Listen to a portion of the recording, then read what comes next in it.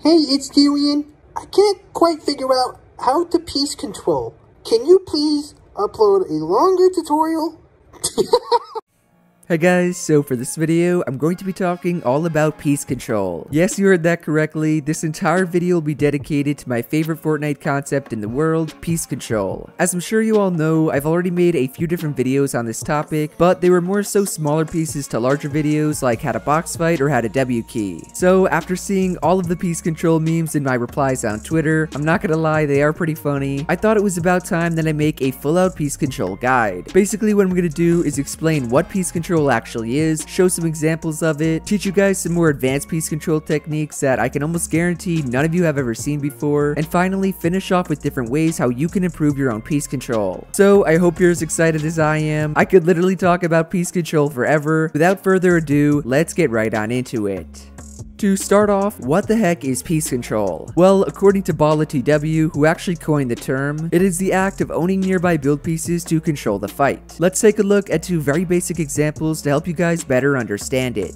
Alright, so for the first example, we have Bucky. He just shockwaved onto high ground, is about to build battle this guy, Gets a nice cone off, two walls, and an easy elimination. That is beautiful. Let me play this back in slow-mo really quickly. This way I can actually break down the piece control that went on. So the first thing we see is this cone right here. Let me pause it and circle the cone. That cone is going to prevent his opponent from going up. Pretty textbook stuff. Then we have this wall right here, which is really important because as you'll see in a second, it allows him to edit it open and wall off his opponent on both sides. He gets this wall and this wall. The guy has nowhere to go because he already has the cone as well. Bucky took control of every building piece around him, three walls and a cone, and therefore gets rewarded with the elim. Here's another example, again from BBG Bucky. He's a top tier pro and box fighter.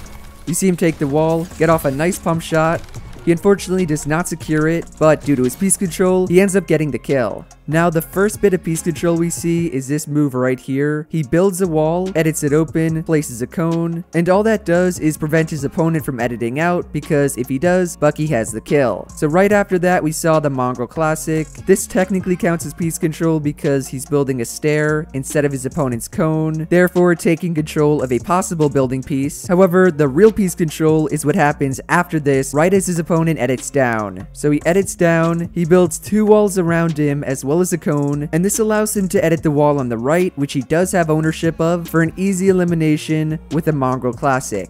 This is different than your normal piece control because he's not necessarily blocking his opponent off. I know he kinda did with the ramp there, but the real piece control comes from the fact that he had ownership of the wall and he can then edit it open. As you just saw from those two examples, piece control is really really useful. It helps you end fights faster, protect yourself when need be, and create opportunities for eliminations that you normally would not get. To put it simply, Piece control is the meta in Season 4. It is what separates the average sweat who can build and edit fast from a top tier pro player that consistently places in tournaments. Any elite fighter you watch in Chapter 2 Season 4 is really really good because of their Piece control. Take Reet for example. Reet is a pro player that I've been showing in these clips with the focus skin, and while he's not the fastest builder or editor, he, in my opinion, has the best Piece control in the world. Now, there are a lot of different tips I can give you to improve your Piece control and to get it as good as Reet's. Some examples are staying aware of the grid system, predicting your opponent's next moves, and of course, watching itsJerian. The thing about that though is I feel like most of you guys know that stuff already. You're not Season 7 noobs who need your handheld with basic tips. What you need are pro building techniques to help you establish piece control that I learned from Reet. These are moves that he's perfected and crafted for months that I kinda stole after watching his videos. All of them have helped my piece control improve tremendously and hopefully will do the same for you. Before I get to any new ones, I quickly want to recap three of the techniques I showed in my W key video. These ones I technically saw first from Calc, but because Reet has better piece control, I'm gonna give him the clout this time. Seriously, let's get into some of these techniques.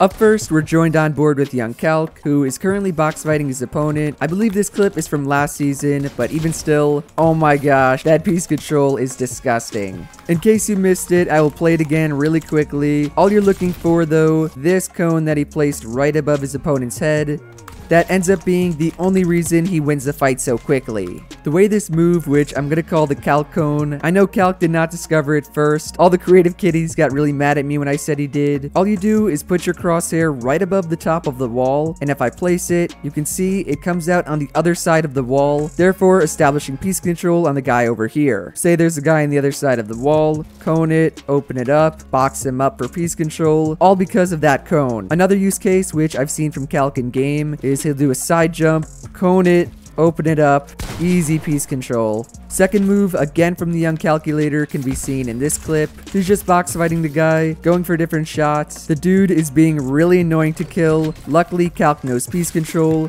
and ends the fight much faster than he would without it. In my opinion, this is the best of the three basic piece control techniques because of how insanely versatile it is. All you need to do is look to the right or left depending on which side they edit out of, place a cone, a floor, jump up on it, edit through both, cone and walls on each side, and you get an easy elimination. I know I keep saying that, but I'm not kidding. Piece control makes everything so easy. Imagine you're in a box fight, you edit out, jump up, snap over, piece control like I just showed, and you get a free shot. This is probably the most fun technique to practice because you're just editing and building, doing a little double edit. That is move numero dos. Third and final of the calc techniques, even though this clip is from my boy Reet. You can tell because he's wearing the vision skin. He's W keying, desperately trying to kill this guy when he whips out the piece control and gets it like it's nothing. All of my hardcore viewers might be a little angry because that's not the exact one I showed in my video with calc. The way I did it there was you build a wall next to your opponent, edit a window, quickly snap your crosshair up and down to place cones on the top and bottom, and finish off with two walls. The way Reet does it is he will stay on the unit in front of his opponent's box, look off to the left or right, place the wall, edit it open, and just place a cone there. Thinking about this now, I guess this is a little safer because if your opponent does not edit out this way, you did not waste these extra build pieces like Calc does. Plus, you can still pressure the front of their box, and if they do edit out, boom, boom, easy kill. Both moves are very, very good. It kind of just depends where your opponent is and how well you can read them. If I do not know where this guy is editing out from, put the wall, the cone, then I see him editing, finish it off like calc. However, if I know for sure he's editing out this way, hit him with the original move, easy clap. Remember, those are the three piece control techniques that I showed last time. You all should already have them mastered. Let's now move on to the more advanced stuff. Back again with another season 3 calc clip. This one has the technique I want to show you guys. It's not new, there it is right there, but it's so useful. As you can see in slow motion, Calc is coming out of a high ground retake. When he does this staggered double wall 180, he gets a cone off in the middle of the second wall, then window edits the top wall, gets the guy with the piece control on the cone, and secures the elimination. This other example is from Reet. He's coming from the low ground this time. He gets off this ridiculous high wall, the cone again, not a window edit, but still, that move is ridiculous. This move is nothing new, I'm not saying it's new, however, most of the time, it's used in high ground retakes like that. You then open up the top wall, get piece control on the guy. The way Reet uses it though is why it's so insanely smart. Rather than trying to ramp over his opponent like most people would, Reet opts to go for this high wall like this. That way from his opponent's POV, they'll be building up, thinking they have ownership of this wall. Reet already has this established and can just edit it open, place a cone. And that just kind of goes to show how versatile versatile this move is because the way Reet used it was he was doing a cone jump, built two walls like that. Then because his opponent was here, Reet got off the cone and outplayed him while the dude could not do anything. I think he tried to build a floor. That piece control though left him out to dry. Here is one final example of this high wall strat. I think he does it like four times in this clip so you're really gonna see how he uses it. Right there is one.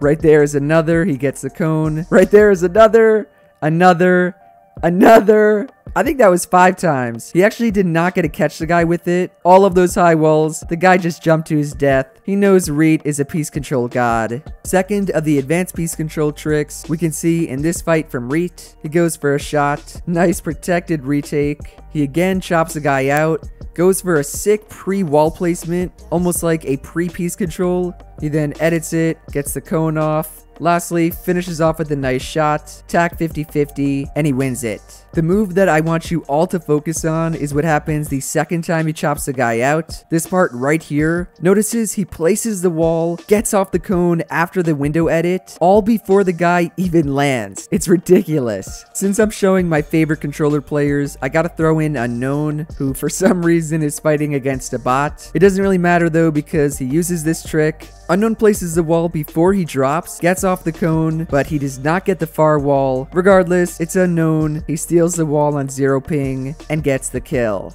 The reason I'm calling this pre-piece control is because most of the time, the way you use piece control is reactive. For example, one of the base clips I showed, if I see this guy editing out to the side, I'm gonna react to it by placing this cone and floor and editing it open. What Unknown and Reet did there was actually different. They put that piece control before the opponent fell, they built the wall, edited it open, and then placed a cone on the floor. That way this player would fall, he would have nowhere to build because he cannot build a wall. That's Unknown's wall that's been edited. He cannot build a ramp. That cone is there because Unknown placed it. All he can do is try to run out to the side, which any good player would just place two walls because they watch itsJerian.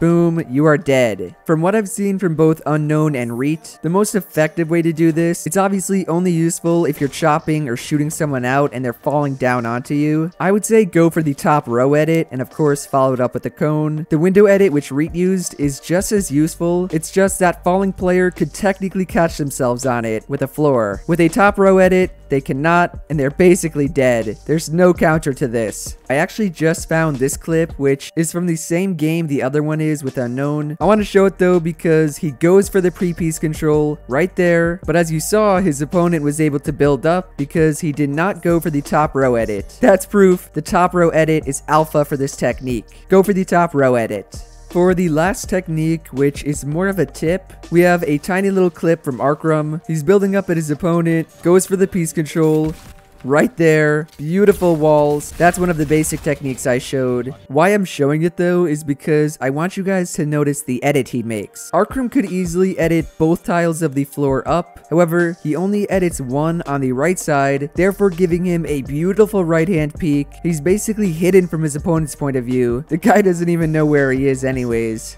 And then Arkhram finishes him off. I don't know why he jumped in the guy's box. That was actually kind of stupid. The takeaway though is that just like your box fighting edits, how you always want them to be right hand peaks and optimal, the same exact thing applies for establishing piece control. Let's say you're in a box, someone comes down on a ramp right here. You could easily place a cone by editing the top row and placing a cone, right? Well, from your opponent's point of view, that is really dumb because they will get an easy shot on you. You gotta remember what I just said. Use optimal and right hand to use piece control. So instead of making this edit, how about you make a right hand window edit, place the cone, there's no way to shoot you, and you get the cone off. Additionally, what if you want to place walls on all of their sides? Should you do this edit? Probably not. Instead, you can make a top right corner edit, reset quickly, you can make a door edit like that, and that placed. There are a lot of different options. You just do not want to limit yourself to these bad peaks just because you're establishing piece control. Use right hand peaks for establishing piece control. To wrap up the video, I'm going to talk about a few different ways how you can improve your own piece control. First up is in any blank world, just start free building and working in all the different piece control techniques. That could be one of the basic moves. It could also be the advanced stuff. Literally just take whichever move, the Classic right there. You just want to get used to these moves, that way in real games, it's all muscle memory.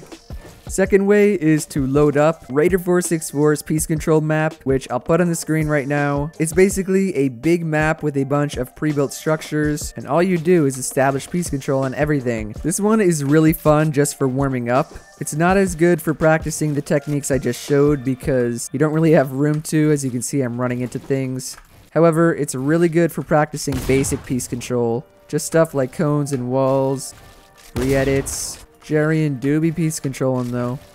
Then the last and final way to improve your piece control is to load up Will's piece control map, which I showed in my warm-up video. Here it is. Code will be on the screen. This guy named Will actually made this entire map just for me. All of these drills are from this video. I can't show them all in this video because that would take way too long. Go watch my warm-up video if you want to see the full tutorial. Just know this map is awesome.